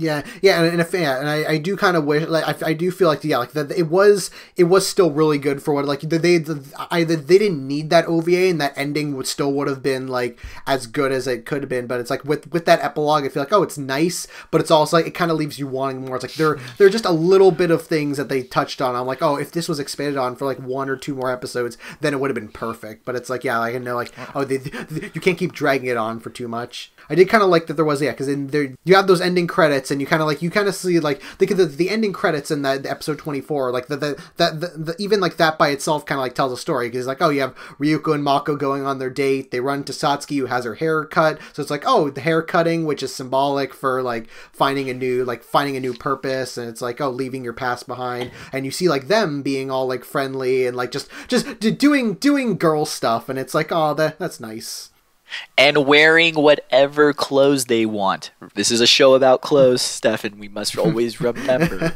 what are they wearing. Yes, yes. So, so you so you get that yeah. So you get that scene in the OVA that leads to her uh, like cutting her hair and and the whole the whole town sinking on the whole town sinking underneath, symbolizing just yeah just just the the complete like throwaway of everything it's like oh the, the, the this this whole school like the whole purpose of this school like wasn't to be a school so it's like we don't need it anymore like, well, I'm done with this social experiment. I'm taking my mommy's money and going home. Could you? Is that what happened? I, I, I feel like because I mean like, like I, I did Ragyo pay for Honnouji Academy for Satsuki? Well i mean like um, we don't know like what like we don't know like how like, it feels like i mean so, so satsuki uses a lot of the i mean it, it's it's assumed i mean the the, the kiryuins are just i mean it's just, it's just that whole that whole empire or whatever and i feel i feel like satsuki herself probably did that but it's just i mean like it's the it's the, the family money 73% of all fashion. Yeah was bringing up the the end bringing up the was uh, the like kind of the ending and the kind of conclusion it did it did leave me like reminding like the this the basically like the first scene of everybody coming together when, when they're all having tea on the ship I think that, that that, that was like three episodes before the end when it's like oh Ryuko and Satsuki finally like come together. And it's like oh everybody has tea and you see Aww, you see the scene of so them all sweet. sitting together. And it's like oh this is the first time they're everybody's like just being able to sit sit and relax like even before like the like when the shit really hits the fan. It's like oh we can just have this moment of everybody sitting and relax and just like oh she she she Satsuki's eating the food with them with with, with Mako's parents and it's like oh they're all having her tea and it's like oh it, it's it's nice. It, it, it, it's it's that first little step toward towards like eventual normality. Yeah, and again, it's it's all these people coming together, not divided by the stratas of, you know, of dictatorships, of fashion, of residents, of places in society. It's just people together sharing tea. Uh, and I think that's kind. Of, it's again what the show's message is that that is the more peaceful state of humanity is when we're bare and naked and just sharing what we have together versus, you know, competing and stratifying ourselves and trying to move up in the ladder to, to do better. Because the show, again, it highlights that that's that's the corrupting behavior. Uh, it's it's the whole reason why I love episode seven. Like all of the second half uh, series craziness. You know, the giant blade sword. Is, is, is that the is that the Amako episode? It is the Fight Club episode. Yes. Um. To, to me, I feel it's yes the Fight Club. It's a very important episode. Like to me, it's a whole microcosm of the show right there in the beginning, still within the initial premise. So it's well before, you know, oh, the show goes off the rails and gets real big, but it still highlights and includes all of the key core messages of Kill la Kill. If anything, it's, you know, the big moment where it like puts the the bow and the hat on its themes and its messages for the rest of the show is when it very clearly highlights how you know even Mako, even her family, who are the core heart, the goodness of the show, they're the ones who teach everyone else, you know, how to just come together and share in a meal, um, how even they were corrupted by the system that Satsuki put in place because it was a good system. Like again, she's that charismatic dictator that sets in a good system, um, and that even the best of people are corrupted by it. They fall for the glitz, the glamour. They start to isolate. They start to separate. They start to become engrossed in the system in the way like how Mako, you know, has to go to all of those meetings as opposed to um, having dinner time and sharing fun times with with with her sister and stuff. And then it then it escalates to the point where Satsuki weaponizes her system and straight up tells Mako, put on the Goku uniform and fight for your lifestyle. And so that then you have that whole moment where, you know, their friendship does end up shining through and their relationship is able to overcome even when the system pitted them against each other. And the family luckily comes around too within that same episode. You just have that. Again another moment where the characters get naked present themselves through vulnerability and try to reach out and connect. And so you get all of that again, but like turned up to 11 in the second half of the series, but it's all introduced, it's all solidified in that episode uh, with the Fight Club. And to me, like that's always my favorite. Even with all the space shenanigans and alien shenanigans, if you ask what my favorite episode of Kill la Kill is, it's episode seven. It's the Fight Club episode. Like to me, that is the best episode in the whole show especially when that gets paid off like when when when uh, Ryuko is is all like is is all completely manipulated is all when when a, when a Ryuko goes all psycho evil and Mako kind of has to do the thing of like her facing off against her and get, and get her to snap out of it and she does that multiple times. It's because because you know that that's the episode where you know Ryuko saves Mako and then again yes then Mako saves Ryuko when like first when the Kamui goes haywire, and then again when she's trapped in in the fantasy when she's in the fog, and uh, you know she breaks in and she straight up tries to tell her like this isn't who you are, this isn't your happiness, and she tells her to attack her. Like Mako tells her, "Kill me if you think this is the happiness you want," and it's kind of I'm not too sure what exactly happens, but like Ryuko does slash, but I, I think it's that Junketsu jumps in front, and so he takes the slash, or they both are meant to have taken the slash, but like she lashes out and they just take it. And again, I, I always thought it was she was slashing the fantasy itself. Like it wasn't just oh she uh, like she ah. slashed everything, the fantasy and also like that, that was what I assumed. Like when it happened and then they all come out of it like fine. It feels like though she was just she slashed like she she slashed and you're meant to assume oh she slashed Mako and uh, and uh, Senketsu, but it's like oh no she's she slashed the whole fantasy. So gotcha. it's like oh that like I think that was what like that that was the intention. I must have missed that. And all, and also her uniform is a Joe, and her uniform is a JoJo, and I just love, I just, I just love Mako, Mako's Goku uniform. It's great. Uh, well, again, it's it's it's meant to be a delinquent uh, uniform, whereas Ryuko uh, references, you know, delinquent female characters. Mako, her outfit is then based on delinquent male characters. So yeah, she has the whole Josuke hat and everything. No, uh, no stand punching, but she does do close to an ora uh, Ora when uh, she catches all the dollaronis being shot out of a gun. Yeah, she catches the money. Totally yes. what I do. Something that I would do would be get, get all the money and then spend it instantly on takoyaki. Like that's one of my life goals is to engorge myself on so much fried octopus I make myself sick. So like the whole Osaka episode and her going nuts at the food stores. That's I it's it's a, again more of the reasons why Mako is the best character in existence. Yeah, it, it, in that in that episode when when like Ryuko's getting all of the the pieces of Senketsu back, and she just she just has the one thing, and and and, it, and it, it, she just has the one piece, and it's like a scarf. Oh, such a cute collar. It's, it's so cute. A, I love that look. That's such a badass look of yeah. It's such a badass look with the, with, with, with thing as collar. I was like, I, I kind of prefer that. I kind of wish she could just keep like that because it looks so cool. Also, yeah. there was a, a pun that I, I wanted to bring up that it took me a while to figure out, and when I finally figured it out, I laughed out loud. Was Natural's election? It took me till it was spelled on screen, and then I went, "Oh, Natural's election, fucking brilliant."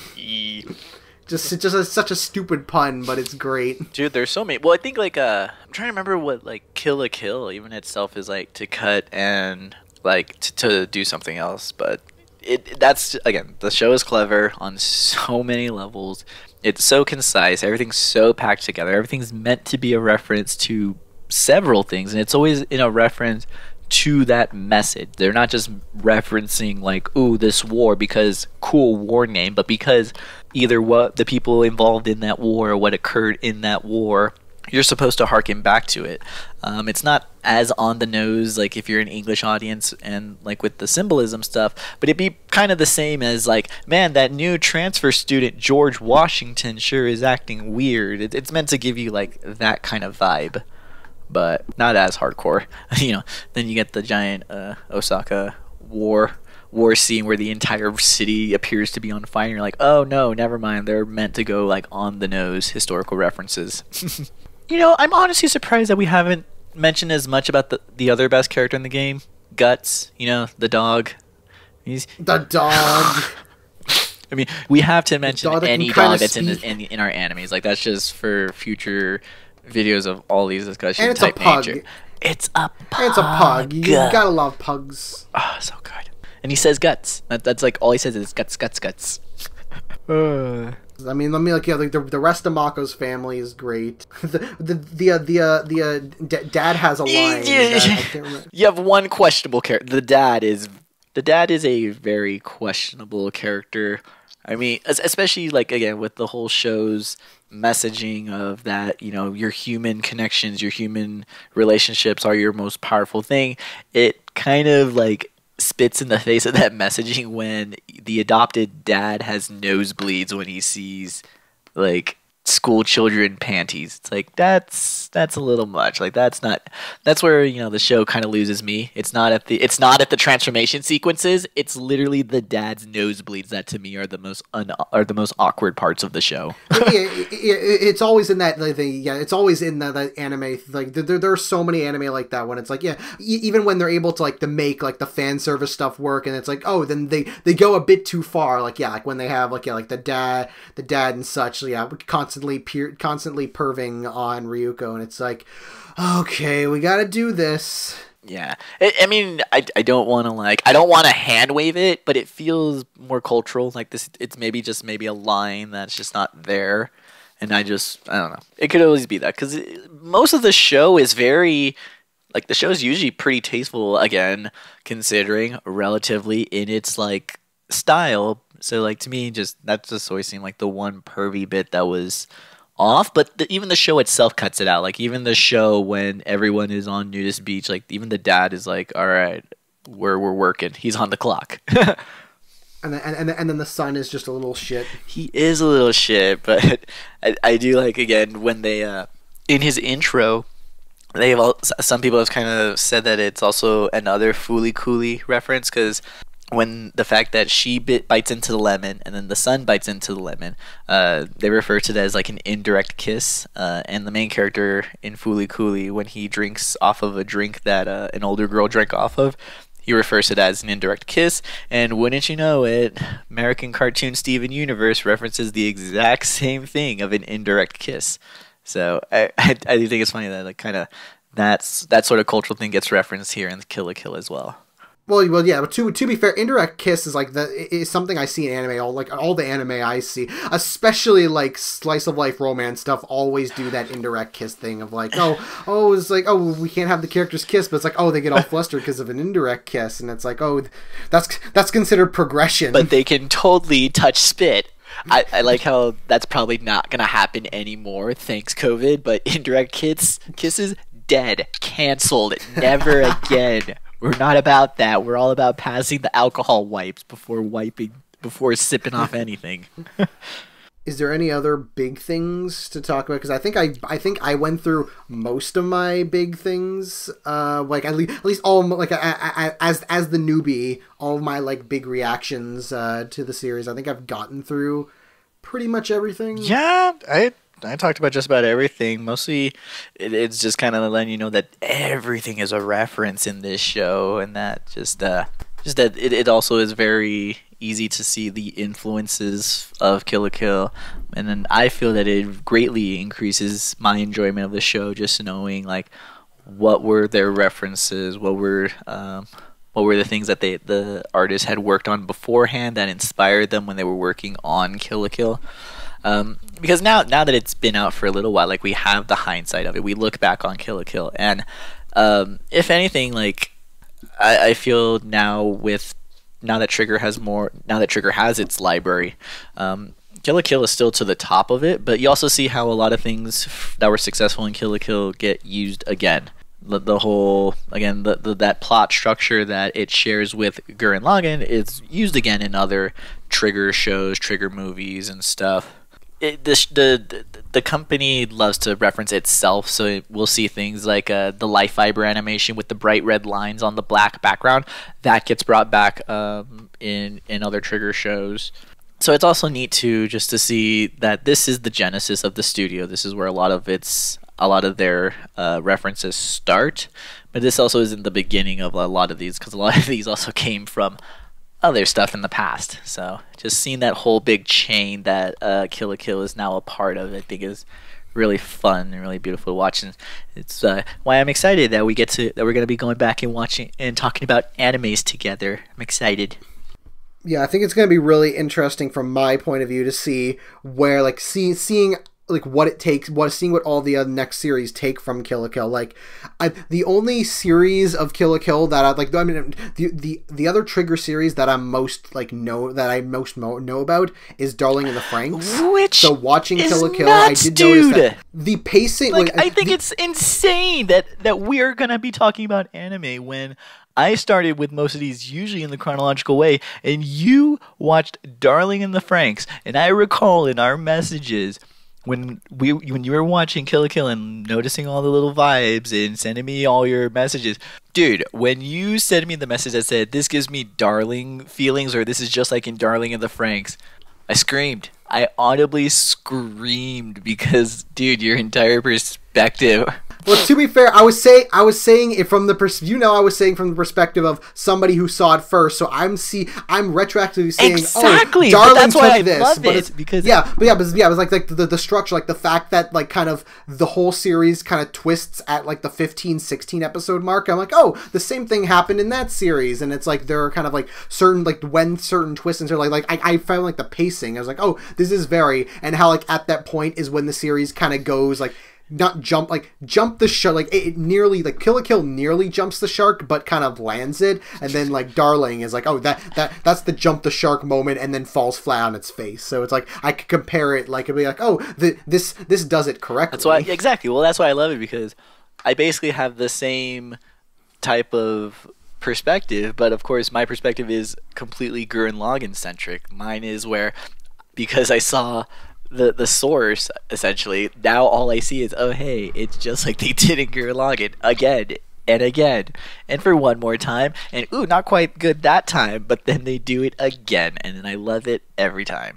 So yeah, I, I just it, did don't not a knock on that perspective at all. It's something that I really like. It's what I think will make this a bit interesting as we go through more trigger because as we get closer to Darling, you'll sort of see again just all the connections, all the dots. Like Kill la Kill is kind of just this big epicenic dot where you can be like, boom, like what big text flashing on the screen, big flashy animation, fighting, cool openings and intros, playing the intro during the final fight while the power of friendship conquers all, like all, all of it. It all happens in Kill la Kill, but it, Kill la Kill, it happens for a reason Kill la Kill as well.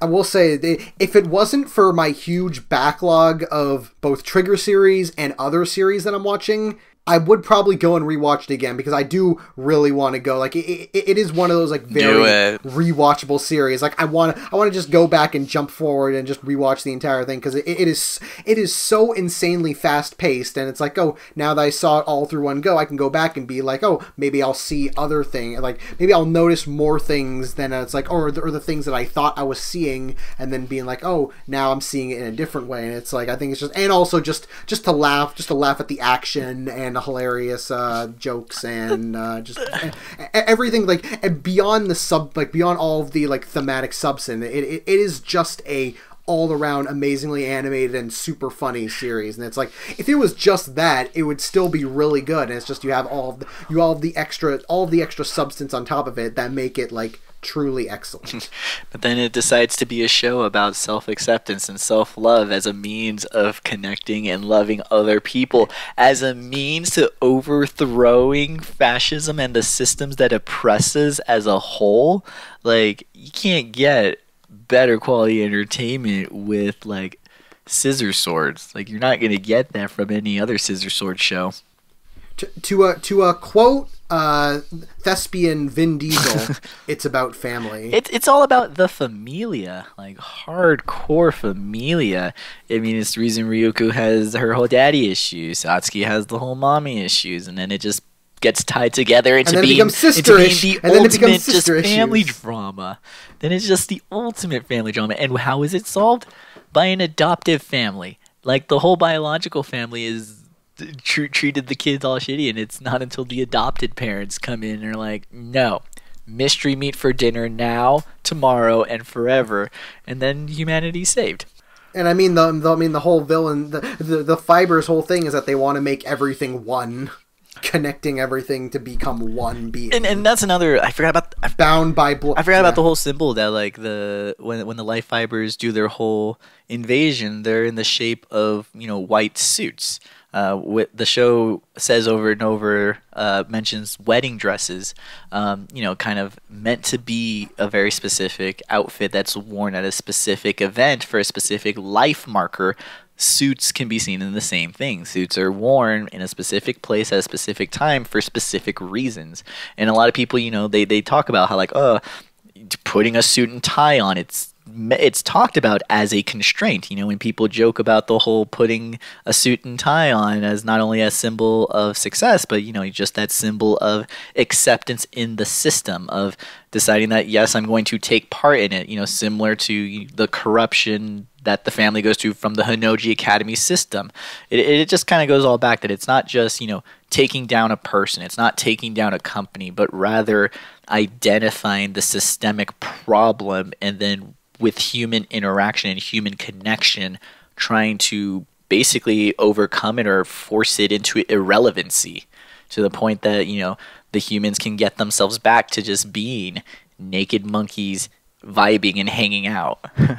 Is there, yeah? Is, is there any other uh, last minute uh, things you got? Because I, I, I think I've, I think I've exhausted most, most of what I have off the top of my head. Since, since, since I, since I, I, I didn't actually plan anything. This was just, I mean, I don't really plan much. this is more so just kind of a, uh, like, yeah. I mean, the, pretty much most of these are going to be just off the top of my head. Just oh, just right, like reactions to stuff. May, maybe glancing at the Wikipedia page to like to get names of stuff. I... While it's like, well, well, you're gonna be the one who's like, oh, th- this represents this, this represents that, and yeah. like you're you're gonna be one explaining to me all the things that I missed, and I'm just like, thing funny. I like good. Thing. No good. I mean, all I had was like a page of barely some notes. Like fuck, this was more planned than I do for usually like an essay or something. But nah, um, those are all kind of my points. Uh, it was just sort of tying everything that you brought up, but.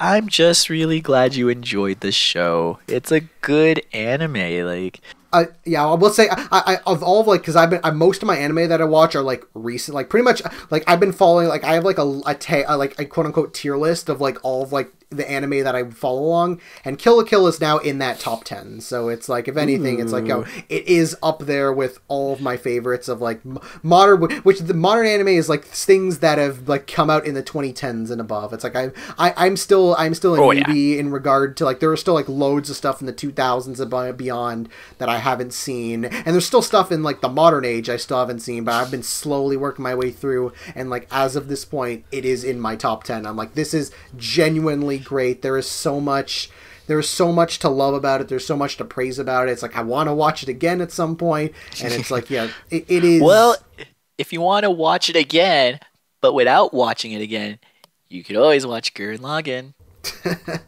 I'll probably end up going back and watching those Gainax things after I've done gone through Trigger. But it's like I, I didn't want to throw in the Gainax stuff because there was like more Gainax than just like the ones There's by the Trigger Peeper. So I was like, I'll, I'll keep that separate. I'll like look I'll look at like that as like another thing like on my own time rather than for this project.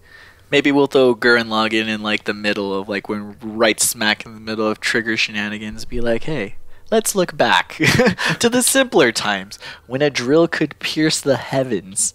That that and a little bit of panty stocking, and uh, I'd probably also recommend. I have seen uh, some of uh, panty stock. I have seen some of panty and stocking. That's really funny. That's the good shit there. That and uh, shoot, I die. Uh, holy cow! I cannot remember now. It's uh, never mind. It's the one with the robots and time dilations, and you get it got a sequel and everything. damn it, this is not happening. either way, ah. yeah, Bob.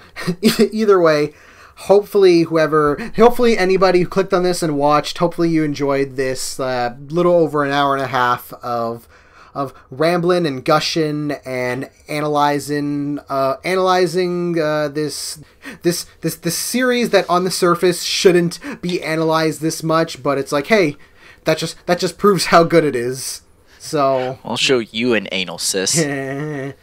anal, because there are a lot of butts in this series.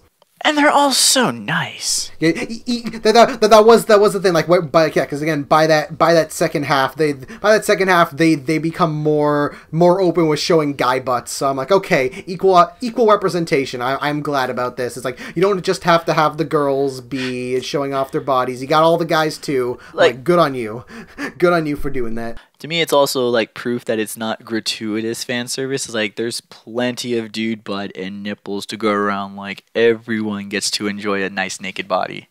And what couldn't be better than that? Hey, so if you enjoyed this, hopefully join us next time where we will probably be talking about when supernatural battles became commonplace, which was the Trigger series that I knew next to nothing about going into it. And as of right, I, I won't say anything right now. I'll, I'll keep all my thoughts and feelings once I finish it, as well as also Inferno Cop and the other two uh, original net animations, Turning Girls and Ninja Slayer, and possibly, depending on how much we say, also Space Patrol Luluco. Just kind, just kind of throw in all of those kind of smaller scale series and just kind of bundle together, and we'll we'll we'll we'll figure it out and see where it goes. But should, should if you really yeah, if you enjoyed this, let us know and look forward to that uh, sometime in the future.